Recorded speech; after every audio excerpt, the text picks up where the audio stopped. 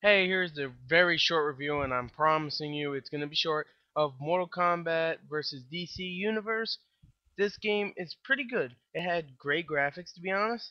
Uh, great selection of fighters. There was, uh, I think, 10 on each side, so it's 20, but still great selection.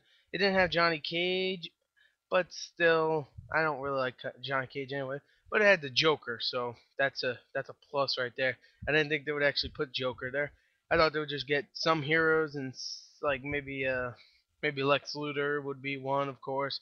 But Joker didn't think so because he's not that much of a fighter. But in this game, he's a pretty good fighter. Uh, there's also like obvious ones for Mortal Kombat: Sonya Blade, Scorpion, Sub Zero. There's no Reptile because he's not that big of a character. So yeah, there's a great selection of fighters. The graphics is uh, very nice and not as good as Soul Calibur 4, but they're still very good. The character models themselves is actually really good. They're really actually pretty good. But the gameplay itself, I mean, I play fighters, but this is really simplistic. It doesn't have as many fighting moves, but I still had, I, I still found myself enjoying it. Of course, uh, sometimes there's different difficulties. I, I like it like a maybe like a not very known character. For me, Deathstroke. I didn't really hear of him. He's in DC. I fought him and he was very easy. But when you fight someone like Raiden or Superman, of course they're hard. And when you fight the last guy in the freaking uh, story mode, he's hard. Uh, the story is actually pretty decent. I mean, it's not supposed to be great or anything, but it actually kind of coincides really good. Like, uh, if you play Mortal Kombat, then you'll fight all DC characters and maybe a couple of Mortal Kombat characters. Uh, if you're DC, then you'll play against blah blah blah. And there's like the story mode is basically that if you're DC, you, you're pretty much in the beginning taking control of uh, Dar- uh what's his name, Darkseid.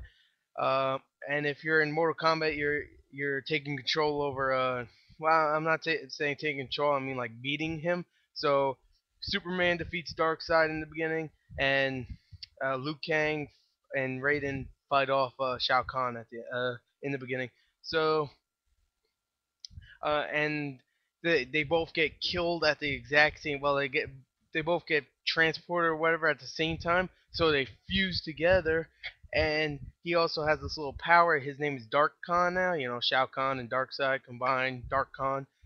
It's cool. Uh, the character itself isn't very. Yeah, I mean, it's kind of bland. It's obvious. Uh, but the what was I gonna say? Hmm. Yeah, the character's good. Uh, he has a little power that actually makes people angry at each other. That's why pretty much DC and Mortal Kombat fight each other because they're they have like rage for some reason. Like uh, Lex Luthor's mad at uh, Jax because they don't he doesn't want to team up. Like Lex Luthor's like we should team up, and Jax says hell no, and he's like oh, I want your arms because I have a full metal suit and you got cool arms. I want them. Yeah, it's kind of stupid.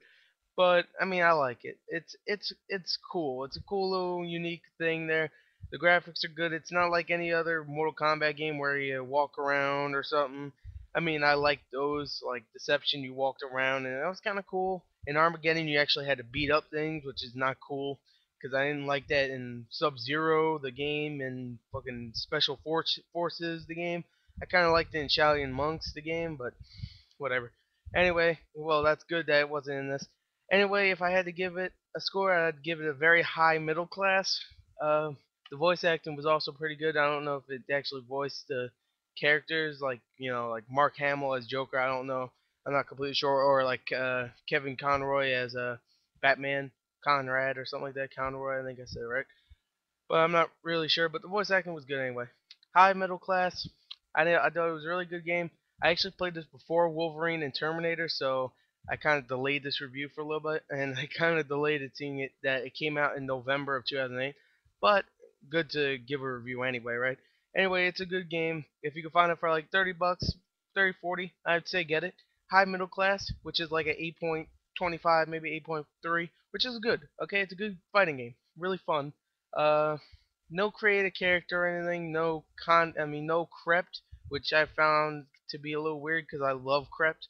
But anyway, it's a great fighter. Go check it out. It's a great rental. I would say great rental.